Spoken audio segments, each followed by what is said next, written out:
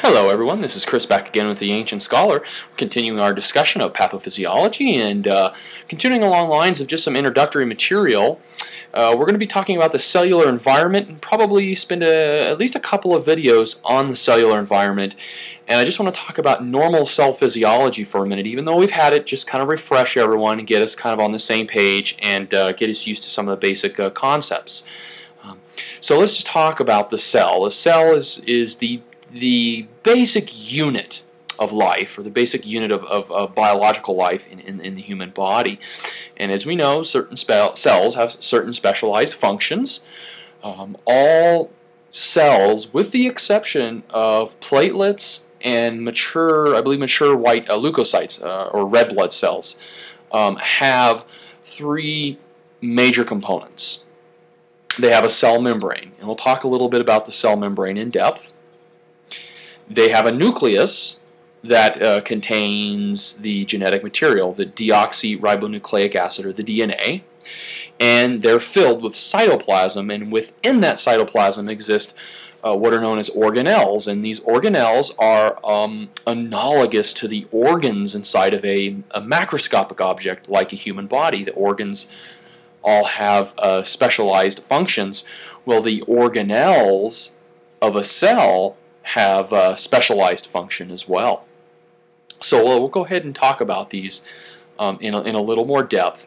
Uh, I do want to go ahead and just emphasize that there are certain cells that do not have these structures and of course uh, the, the, two cells that we look at in the human body would be a red blood cell. The red blood cell does contain a cell membrane uh, but it does not contain any organelles uh, or nuclear material per se. Basically, it's a it's a, a plasma membrane surrounding hemoglobin.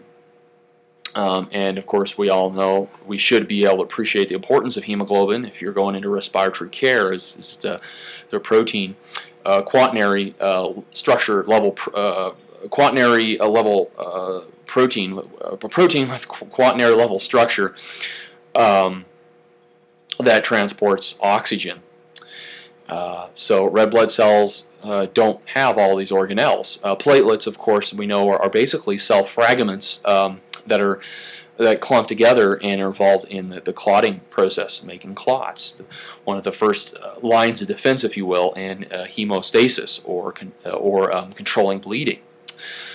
But for the most part, most of what we call the eukaryotic cells, these are cells in plants and animals, um, eukaryotic. Prokaryotic would be a different type of cell, and they're much older, they've been around a lot longer, and, and an example of a prokaryotic cell would be a bacteria. They're different. I'm talking about eukaryotic cells. Okay, so let's just go ahead and talk about some of the basic uh, organelles within the cell. So here I have a real kind of a rough drawing, a little rough diagram that I did. And I have a cell here, and in the center of the cell, or near the center of the cell, I have a nucleus. The nucleus has its own membrane, and within the nucleus is, contained the genetic material, the DNA. Now, the way I look at this is I think of um, if I want to build a, uh, make a building, and I make a blueprint for that building. I draft a blueprint. Do I necessarily want to take the original blueprint out to the the construction site to make uh, that building. Well, no, I don't, because if that blueprint gets damaged, then I'm kind of out of luck and I can't do any more building. Well, that is very similar to what happens in a cell, is the DNA in the nucleus is a blueprint. Now, the cell needs to make, uh, manufacture things so the cell can run and, and repair, rebuild, and uh, make proteins and do all the things that the cell needs to do. However, it would be very bad if the DNA were to leave the nucleus and get damaged somehow. Uh, the cell would no longer be able to function. So instead what the, the cell does is it does something called transcription where the DNA is transcribed, it's turned into messenger RNA. It's like a copy.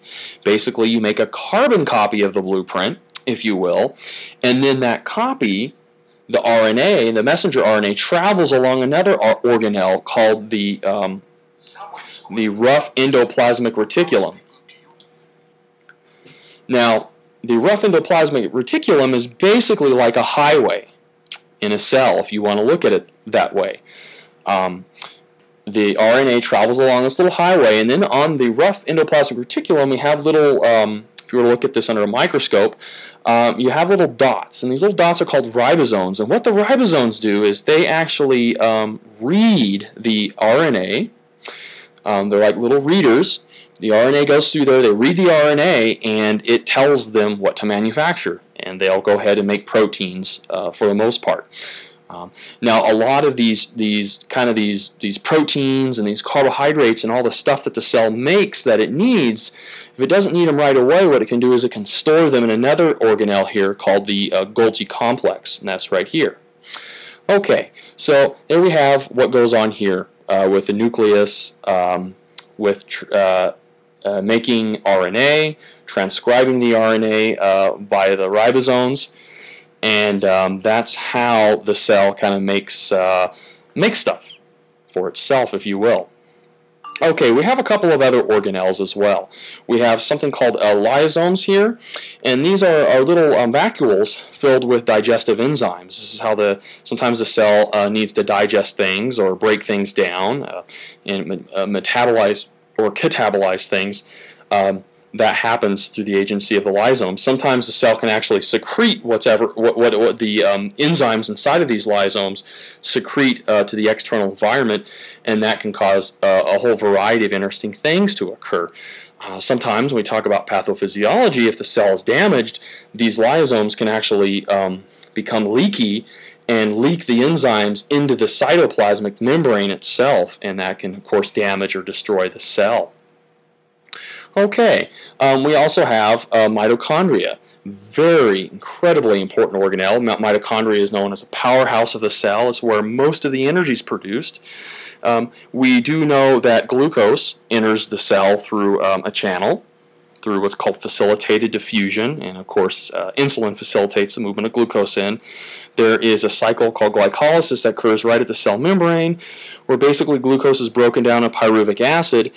A little bit of energy is made anaerobically, not a whole lot, and then the pyruvic acid is then turned into acetyl coenzyme A, and the acetyl CoA uh, then goes through another cycle called the Krebs cycle inside of the mitochondria here um, the Krebs cycle go, uh, basically breaks um, carbons and hydrogens off of uh, the excuse me off of the acetyl CoA and the hydrogens then go uh, to another system known as uh, oxidative phosphorylation or the electron transport chain and that's actually where we use oxygen um, in the, the, electron transport chain. That's where most of our energy is produced. And um, of course, through the Krebs cycle, because we're, we're pulling a bunch of uh, carbons off, we actually produce carbon dioxide as a waste.